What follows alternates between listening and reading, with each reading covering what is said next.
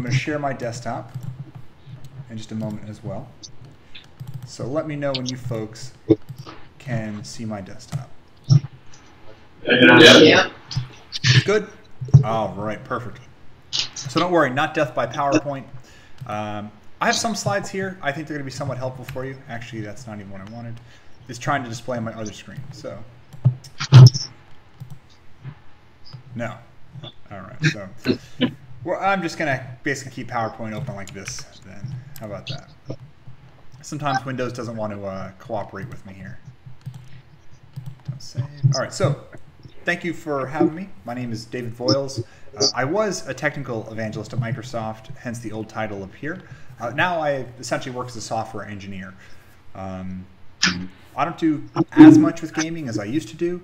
Uh, now I kind of more focus on um, a variety of areas. I'm on a team called CSE, that's Commercial Software Engineering, and the idea is that uh, my team is entirely remote. We work across the world, and typically with some of the larger partners in the world. So now I do things with um, accounting firms, which may not sound very interesting, but I assure you on the data science and machine learning side it is. And then other times, awesome projects around um, animation, gaming, and technology come in. And right now, I'm doing something with uh, Fox Studios in California, uh, specifically on uh, The Kingsman. So my job is all over the place.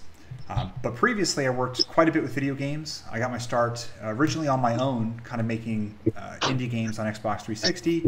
I worked at Comcast, uh, the large ISP and cable company, where I built out their Xbox 360, Xbox One, and dabbled on their PlayStation application. Uh, and at this point, uh, had tons of experience with both Xbox, HoloLens, uh, Nintendo. I've actually got my Switch right here. I'm playing a ton of Final Fantasy VII on as of late. I'd recommend that to anyone who likes RPGs as well. But with that in mind, let's get started on how to develop games for consoles and kind of get your foot in the door as an indie as a whole. How does that sound? Good. Right. Actually, I should have shared this slide before, but um, now I'm looking at it. Uh, so I also wrote some books. I worked with uh, on the Unreal Engine, wrote a book on that. Did a ton with Unity. We've partnered with Unity quite a bit in the last few years, where we'll kind of do road shows and that is we will essentially teach developers how to create applications on Unity and deploy them uh, across the world. Uh, so, you know, kind of ignore the title as a whole right here. The gist that I want you to take away from this is here are some of the key things you need to know to um, create games, especially as an independent developer. Not necessarily just for consoles, but really get your, your job out there. Um, and I'll leave maybe the last 10 minutes or so uh, as a time to talk uh, so this we can kind of answer some of your questions. And finally, I gave uh, a very similar talk to this, where I had a little bit more time uh, in Berlin at uh, Berlin, Belgium, uh, about six weeks ago, and I posted that on my blog, which I'll have a link to as well. So you can kind of get more details about some of this information too. Um, so particularly with consoles uh, in 2019. Um, they're still somewhat closed, but far, far more open than they used to be. I mean, if you were trying to write a video game in uh, you know, we'll say the 1990s, uh, it was an absolute project. There were very, very few developers or studios creating content, and almost all of it was in assembly. Um, even on PlayStation 1, most of the video games were programmed in assembly, uh, and then some C kind of scattered here and there. Today, obviously, far, far easier with fantastic tools like Unity and Unreal Engine or uh, Monogame if you want to use C Sharp. But essentially, they're all going to require a lot of the same things, right? The consoles demand quality over quantity today. Um, so to prove you're serious, you need a handful of things. You're going to have to be a registered company or sole proprietor. Um, this can be something like an LLC, uh, which is a limited liability corporation, or you could be what's called a sole proprietor, where you are the uh, single, um, you know, leader of this foundation or company. I'm not going to bog you down with the business sides, but a lot of these things you create, you know, very locally by just you know going to City Hall and paying hundred dollars and kind of getting yourself off the ground. Um, having a track record. So when I say track record, it doesn't necessarily mean that you must have worked for a AAA studio at some point.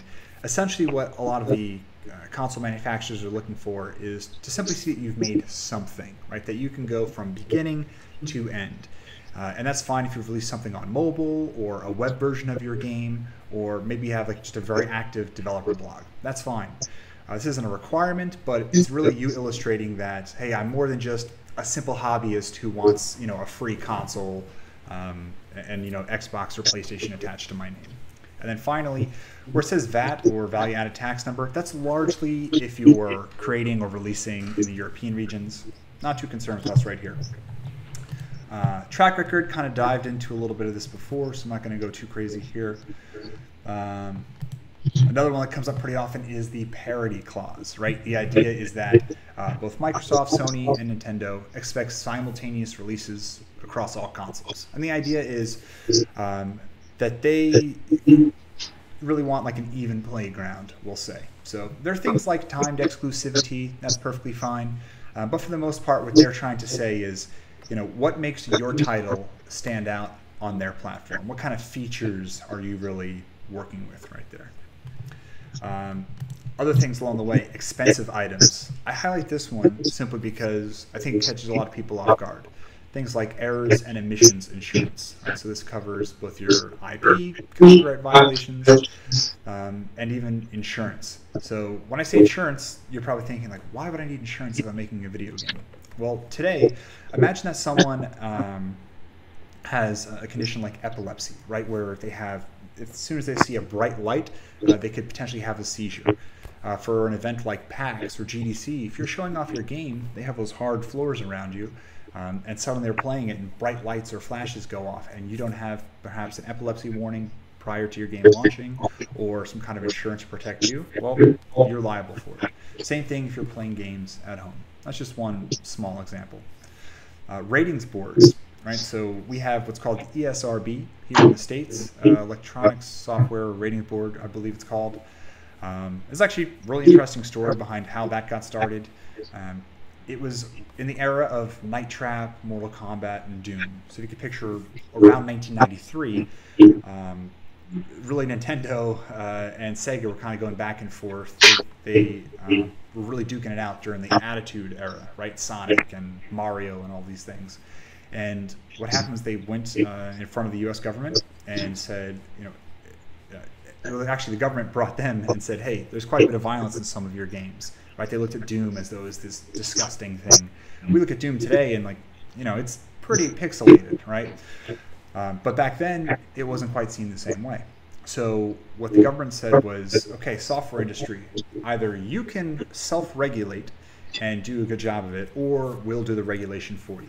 And what the software uh, manufacturers, particularly on games, decided to do was say, hey, you know what? We have this on our own, we'll take care of it. And that's how the ESRB came about. Uh, there are other uh, ratings platforms on um, different different countries. For example, PEGI, you might hear, so Pan European Game Information. I believe Japan has their own as well. So these are small costs that you're going to have to pay along the way to kind of get your game out the door to these different platforms.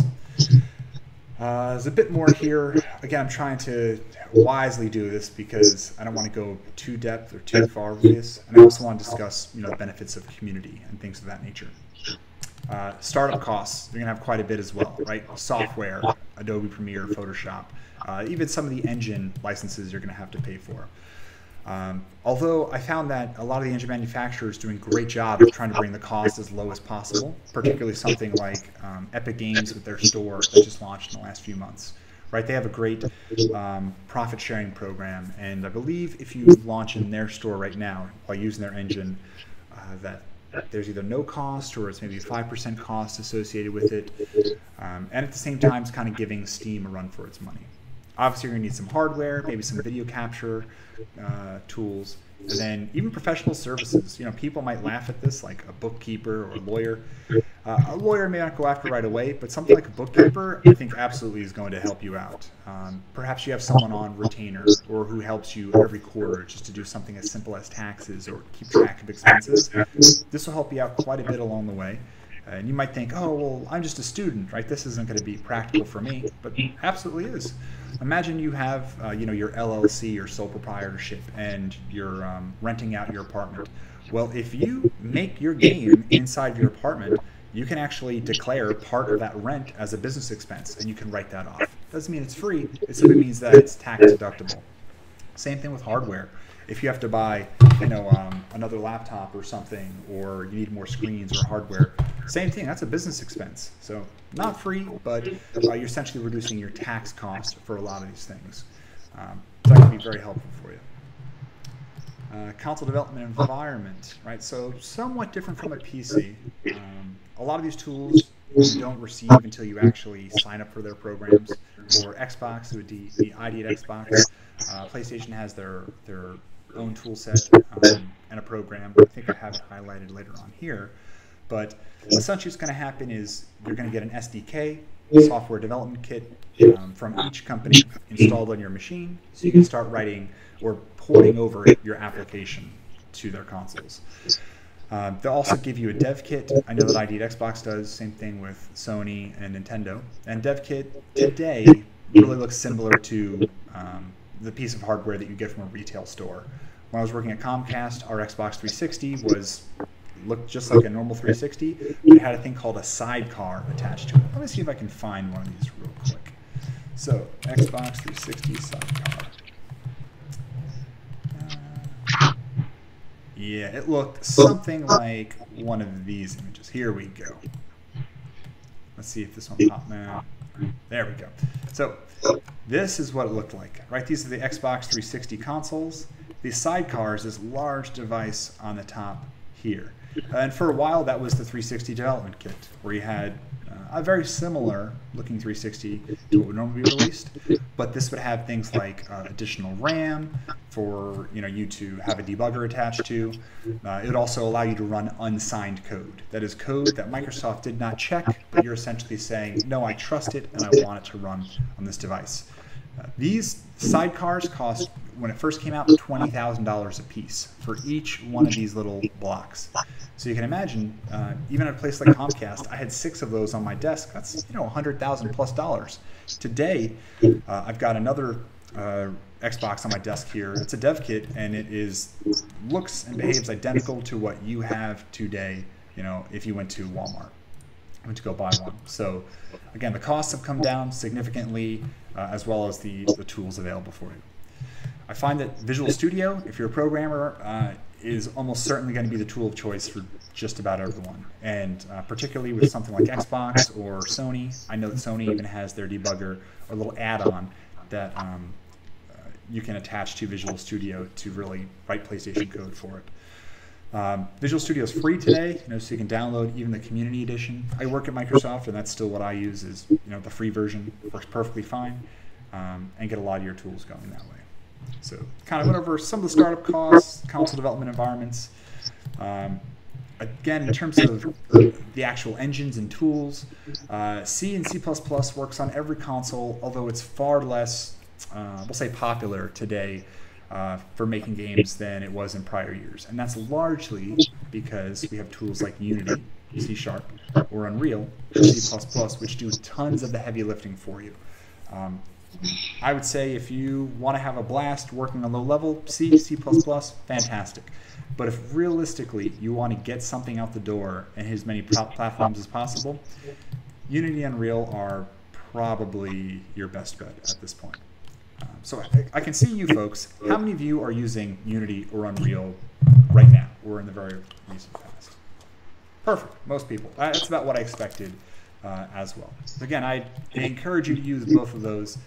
C and C++, fantastic. I love writing in it, but it's a bit of a project to get your game to work on every platform that way. Um, also, uh, you can barter for what you need. Right? So if you're making a game and you want to get it on one of the major platforms, uh, you have a bit of control as well. Right? So things like timing. Uh, when in the year do you want your game to launch? Uh, when you uh, go to release your game on, or talk with the console manufacturers about getting your game on their platform, this is one of the questions they're going to ask. So you can work with them to understand when would be a key date to launch some of these titles. Uh, I would tell you something like November, December, probably a terrible time, simply because that is like the hype of um, the hype cycle for video games, where you're launching against the biggest of the biggest, right? The AAA's, the Call of Duties of the worlds. So maybe you want to release something around maybe this time when things really start to slow down a bit. Exclusivity and length, right? How long do you want this uh, this game to be just on this platform? Uh, oftentimes, for something like um, Cuphead, right? Big title, uh, from an independent developer. Uh, it was released on 360 and PC first, and they said with Microsoft, "Hey, we'll have it on your platform for you know at least one year before we go elsewhere." Uh, and now I see it's coming to the Switch. So this might be something you want to negotiate too. And finally, marketing and funding.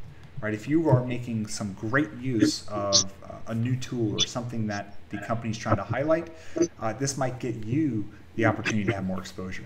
So, for example, you're familiar with things like Twitch or Microsoft has Mixer, right? Very similar. It's a video streaming platform.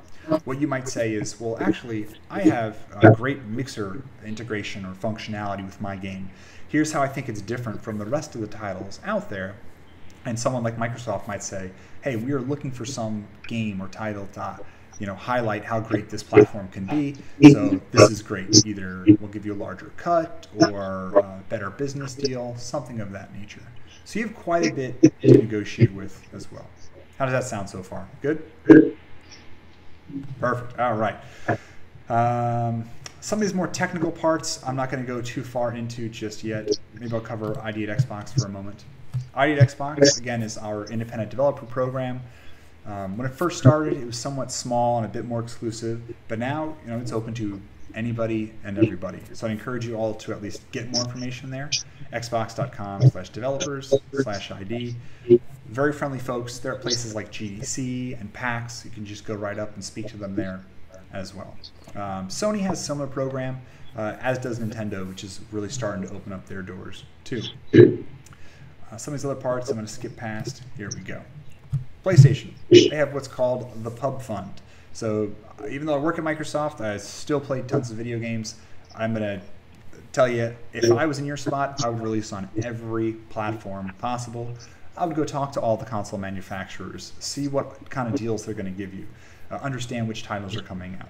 Uh, there's, I think sometimes people think there's like this big heated rivalry between uh, the console manufacturers, and you know, in some ways, I'm sure there is, but realistically, uh, you know, most people working in games work in that, that area because they absolutely love it, right? So we're going to play uh, and really support every console manufacturer. So the Pub Fund is one way you can work very closely with PlayStation, and that uh, means that Sony doesn't own your IP rights, but you potentially have an advance in sales or royalties for your title. That is money upfront in exchange for, we'll say, limited platform exclusivity. So what happens is uh, Sony may get um, a larger percentage of each sale, right? Instead of maybe 30%, which seems to be pretty standard and typical these days of each sale, they might say, hey, we're going to get 45%.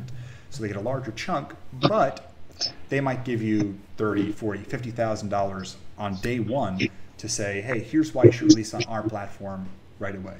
So it's that little trade-off of do you need the money now if so, you know, you might go that route. Uh, Sony also requires what's called a static IP.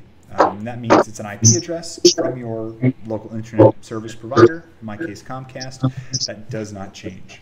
The reason they have this requirement is so that they know when they send you that dev kit, and their dev kit looks a bit different. It's like a, a large box essentially. Um, that when they give you this dev kit that you are not going to sell it or use it elsewhere because that dev kit will be tied to your account and your account is tied to the static IP. Um, and again, that's to kind of prevent it from going on eBay at some point in the near future.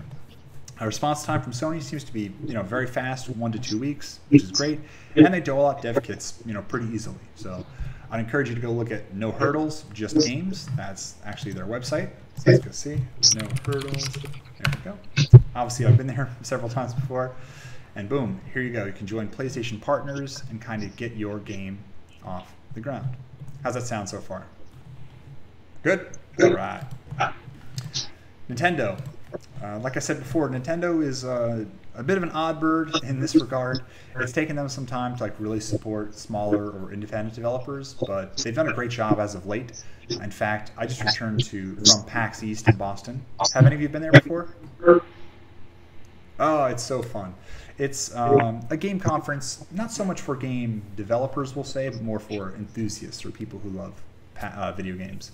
So I went, and the theme of this show for me this year, at least, was everything is coming out on Switch. Um, I travel a lot. I'm flying all over the place for work, and I realized I finally need to pull the trigger and get a Switch for myself for flights because all these games, AAA to smaller independent games, were coming out in this device.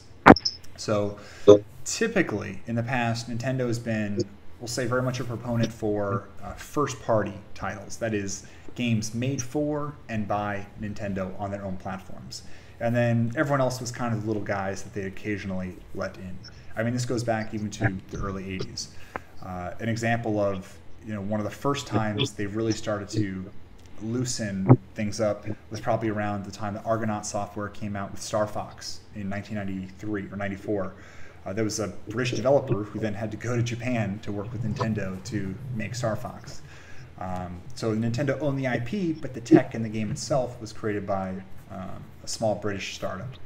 Uh, nowadays, Nintendo seems to be you know a bit more open with things. So you can apply for their self-publishing program at developer.nintendo.com, and um, they want to really start focusing on Switch and 3DS.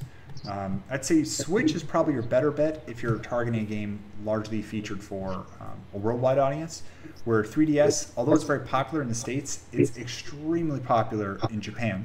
It is so popular, in fact, that when they started releasing uh, newer models, they didn't even launch with a, a, charger because they knew that all the people they were selling this to already owned a 3DS, right? So maybe you wanted 3DS XL, the larger version, or the newer, smaller version.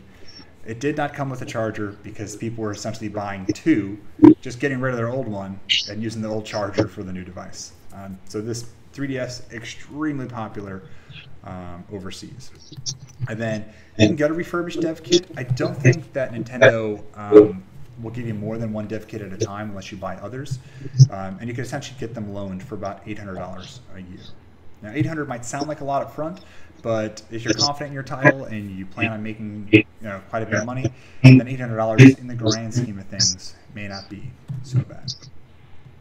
Community. Here is the fun part. I kind of highlight the Chicago game development community on this particular slide. That's largely because uh, a coworker and I, Sarah Sexton, she was in Chicago at the time, uh, living there for work, and um, we had put this uh, talk together.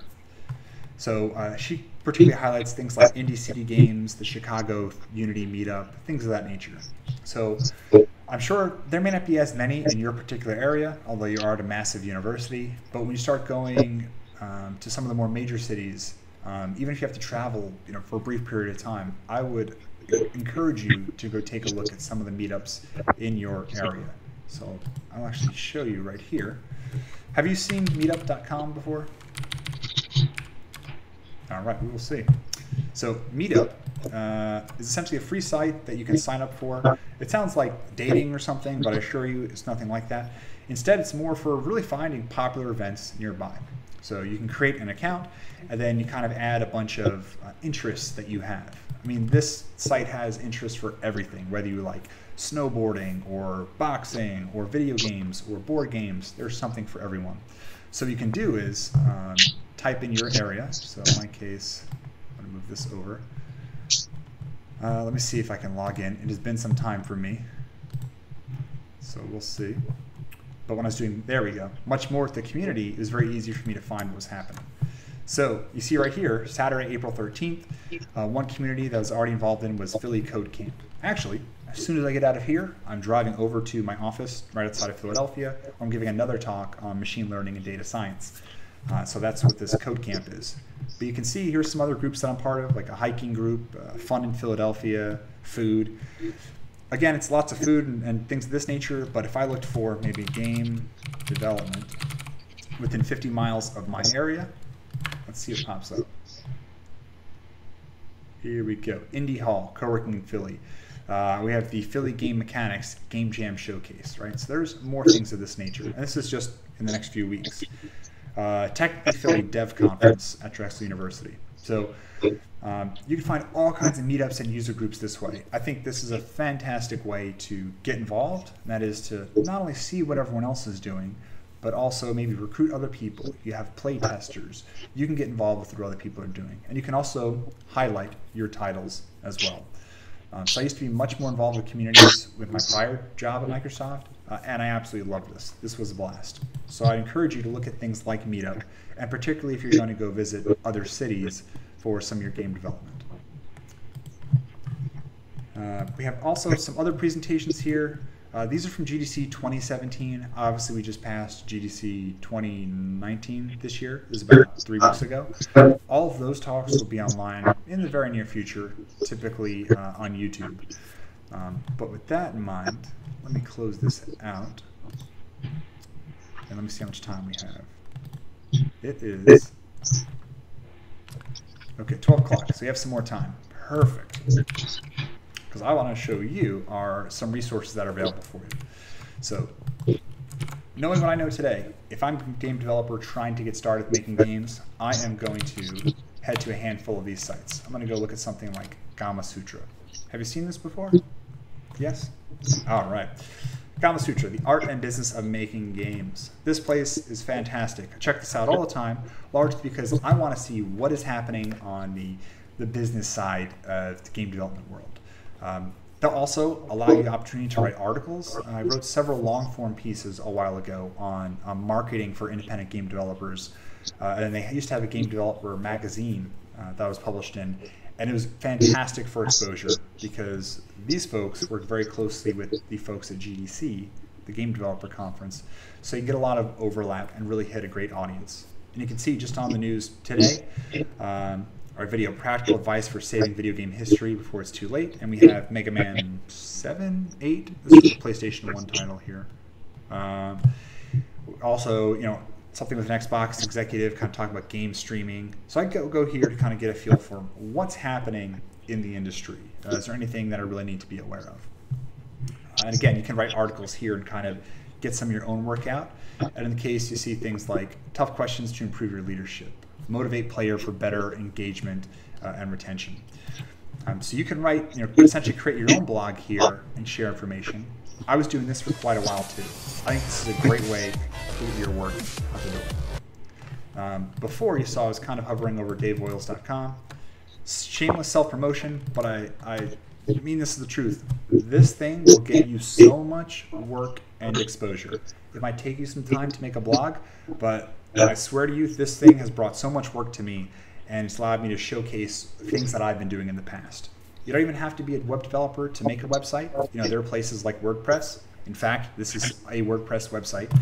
So you could go to wordpress.com. Uh, and obviously there's other tools and, and resources. I'm just simply using WordPress for 10 years and it works very well. So you can start for free or even on these smaller sites um, to pay like you know three dollars a month or five dollars a month for your blog. Again, you don't have to code at all. A lot of it's drag and drop, but this thing is a lifesaver. Um, largely because uh, you don't have to code. But at the same time, you can kind of build your own resume, have some about me. Maybe if you do a podcast, that's another great way to get work out there. I did podcasts for years, both at a site called Armless Octopus Let's see if we still have this up. No, I guess we took it down. It's been a while. Armless Octopus. So this was a uh, game development blog that myself and several friends had put together uh, almost 10 years ago at this point, just as a way to kind of get our foot in the door um, with gaming. Some of the stuff, I don't know what this is. Uh, these are not our drawings, but this was ours, Armless Octopus. And we just covered Xbox Live indie games. So we found a little niche and we went after it. And then because we were making videos and having a podcast and reviewing people's games, it granted us the opportunity to go to places like GDC or PAX as press um, and kind of make more connections out there. Um, so this might be a great way to kind of get your your work out. Like you know, here was us kind of showcasing here are the best indie games of 2011. I can't believe it was that long ago. Crazy.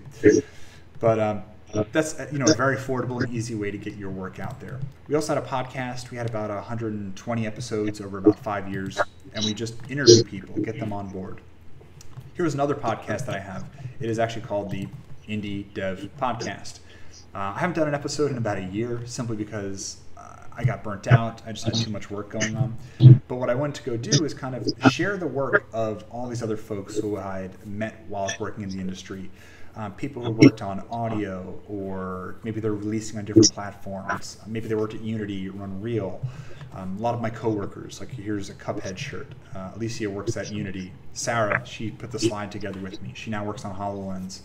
Um, so what I wanted to do is just kind of share the stories of people who are working in the industry. Again, devpodcast.com. And I'll link to this um, on this blog post too. I just want to see, you know, what are people doing? How can I highlight their work? And uh, I'll tell you, this was extremely pivotal in not only sharing my work, but also you know making friends in the industry for quite a while. Um, going back again, again, this WordPress blog, uh, you can do things like stream on Twitch, and then as I'm streaming, people, if they happen to come here, they could see in real time, am I streaming? All of my tweets would appear right here. But most importantly, and the key part is that you are updating this with your work from time to time, because this is signaling to the world here is who I am, or at least what I'm trying to strive for. And if they see over and over, okay, this person, you know, if you saw a couple years ago, it was all video games for me. The last couple years, it's been machine learning, Docker, uh, and AI. What I would do is I would, you know, give a talk. Like this is my talk in Belgium uh, in March. I might give a talk. I might have a photo from the talk, and I will link to the video as well as the slides. Again, this is a very similar slide deck to the one we had used today. And then now people can kind of go back and take note of what uh, you're doing. So if I'm a developer, I would go back and I would um, definitely talk about my work. So one final example. Um, even if you don't know where to go or what to start with or how to make a game, I had no clue several years ago, so I would just make a developer diary, right? I would just literally write as I was going along and say, hey, here uh, is me trying to figure out how to do something. I had no clue. I loved Mega Man, so I tried to make a Pong game in C Sharp with Mega Man. So here's a dumb prototype just to see if it worked. And then once I got the gist of that, kind of went to the next level and I started to uh, you know, work on Unreal Engine, at least the previous version from what we have today, and do some 3D modeling, some texturing, uh, essentially try to recreate one stage from Mega Man 2 inside of the engine and uh, kind of have different debugging features in here. And the final piece, you know, once you're people are starting to get an audience here, they're starting to respond to some of what you're doing. Uh, you want to just keep a log, and that's exactly what I did here. Some parts, you know, not necessarily embarrassing. Uh, some people might say, "Oh, well, I'm hesitant to share what I'm working on because I look like such an amateur or I'm so new." That's completely understandable, but at the same time, if I'm an employer and I'm going to look to hire somebody, I want to see your earlier work and then where you are today because it shows how you can progress over time. So if someone was to look at this, they'd say, ah, this guy is definitely a beginner, right? And this is from January 30th, 2012. But if you look at the work I'm doing today, you can see, oh, wow, you came from this, and here was your progression along the way. Okay, if this person can figure out these things, and here's their thought process, I'm confident they can learn these other skills as well. You with me so far? Perfect. All right. So I'd say make a blog, get a free one, um, and just talk about what you're doing. And then once you start to get your foot in the door, perhaps create a podcast or ask people questions and share that knowledge with the world uh, because that's how you're growing your brand, their brand. You're kind of making friends along the way. So with that in mind, it is 12.08. We've got about 12 minutes.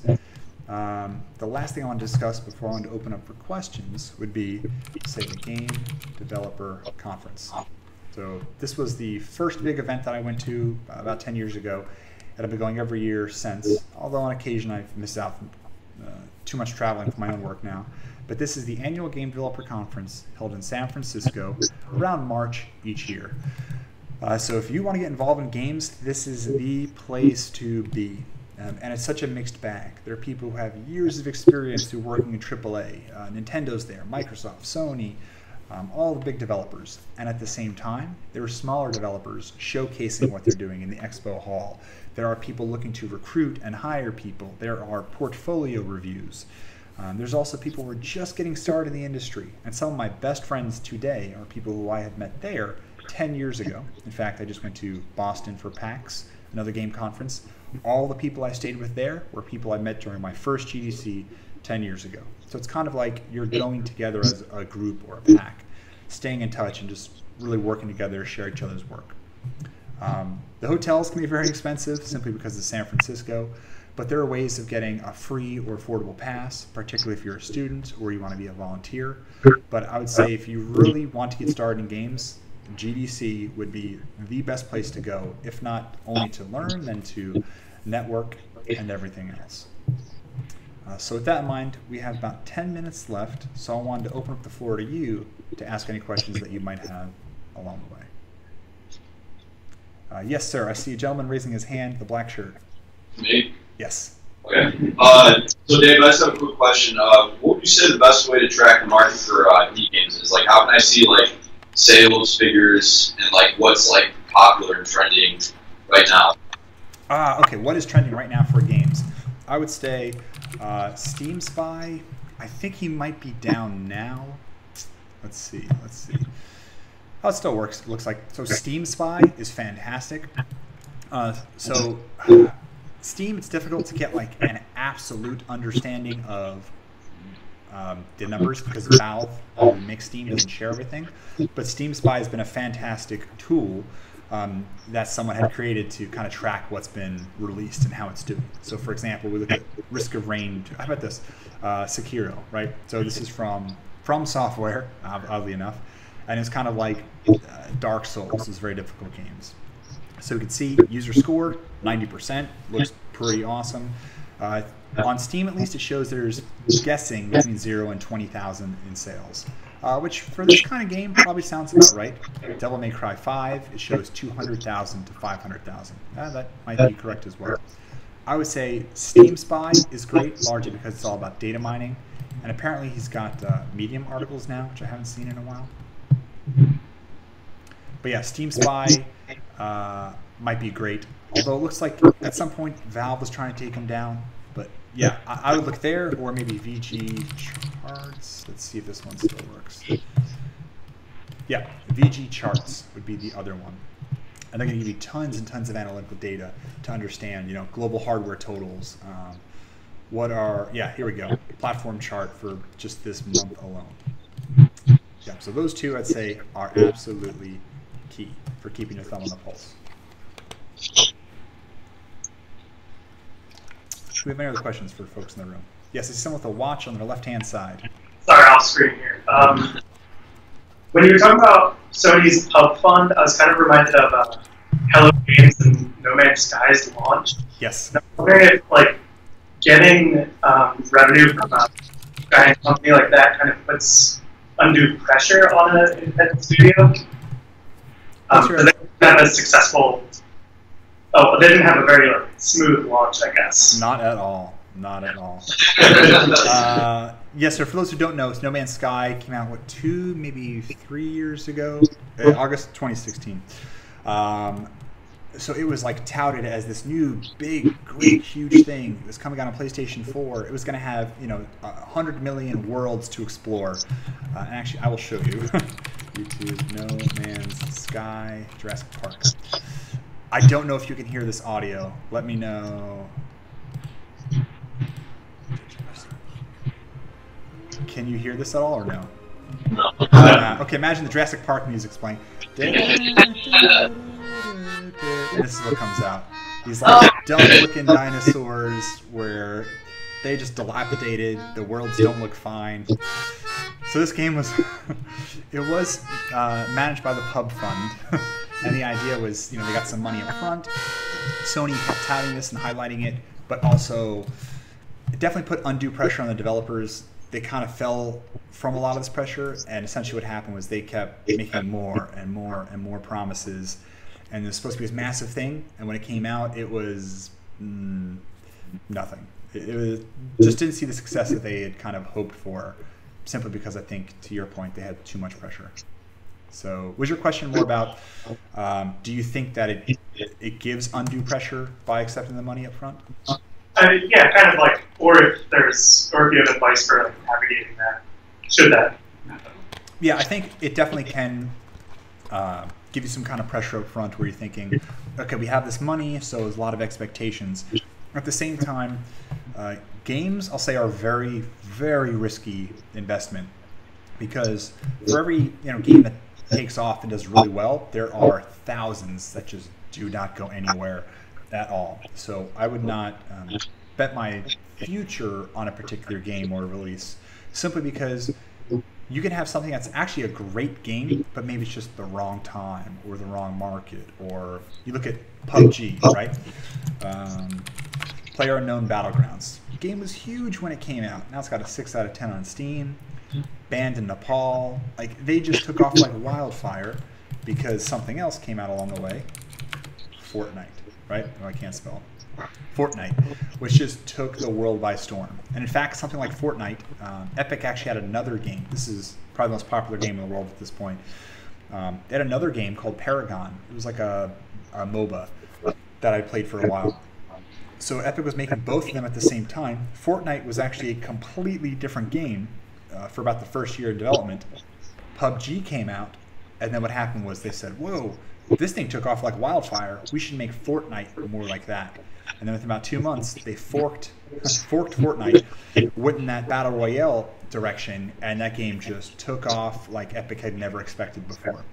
So, for that reason, I would say yes. There's always pressure to create a game. I would not bet the farm on anything simply because what gamers want right now or this year will be completely different from what they want one year from now. Hopefully that answers your question. Yeah, thank you. Do you have any other questions there, or is it a very shy audience? I don't see any hands being raised. So that's another one. Sure. Do you think uh, do you think there will still be a market for like retro style like uh, 2D side scroller type games in the future? Do you think that's like uh, not the market? Oh no, I think there is and will always be a market for something like that. There is um, Bloodstained. So Bloodstained Curse of the Moon. This was uh, 9 out of 10 on Steam, right, which is unheard of. uh, this is a 2D retro game from a lot of the folks who made Castlevania and those types of games uh, in the 90s. This is like a spin off game that they made in anticipation of a uh, 3D style game they have coming out later this year. This game, rave reviews. This was their little side project. Uh, it sold like wildfire. The, the real game that they were making so I should say this is kind of like a little teaser to their 3D version of the game. The 3D version just had a demo, and people were like, "No, stop, stop, go back to this." Um, so that's one example, but I'll tell you just by going to again PAX, the Penny Arcade Expo last month, it's just so many 2D side-scrolling games, particularly with this kind of art style. And then even look at things like um, Game Hut Kickstarter. Game Hut, uh, if you want to learn how video games were made in the 90s, I would uh, highly encourage you to take a look at Game Hut on YouTube because uh, that developer shows exactly how he wrote these games in assembly, but he just started a little Kickstarter.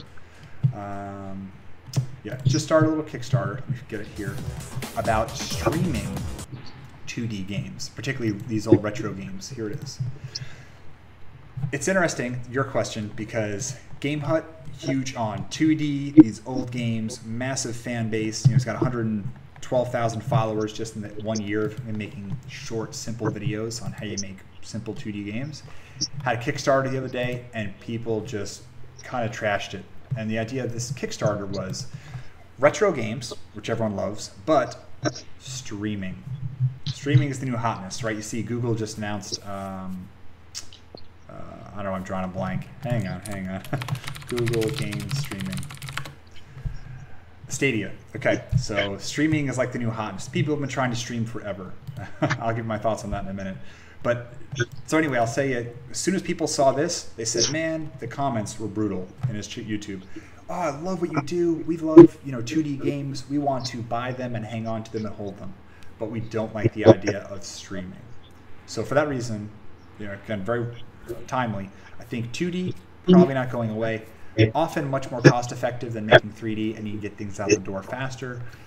But the catch is you got to do it the right way because something like streaming, even if you have a license for all these games, I don't think will take off, and particularly something with like Stadia uh, with Google. I'll be honest. So the idea of Stadia is Google has a platform where the games are running on a remote server, and you simply have a controller that um, can control these games, and uh, the games are streamed to you with a very low latency. Uh, I worked on video streaming for years, both at Comcast and Microsoft. I'm extremely skeptical unless they have some kind of magic that uh, the video producers of the world don't have, that the ISPs of the world don't have, and that game developers don't have. I don't see how this takes off simply because of the latency, the streaming um, size, and the other issues. But hopefully that sort of answers your question. To say 2D, yes. Streaming with 2D, uh, probably not. All right, so it's 12. Well, it's 12:20 my time. I'm happy to stay on for a few more minutes, ask any more, answer any more questions. But I know that uh, you folks have to hit the road as well to get to your next event. Thank you.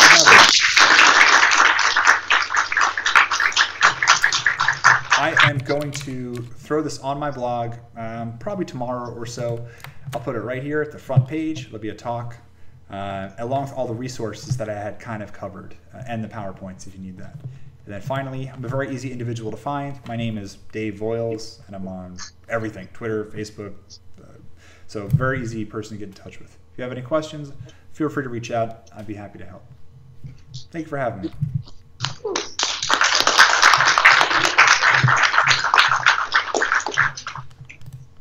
Anyone have any last minute personal questions or are we all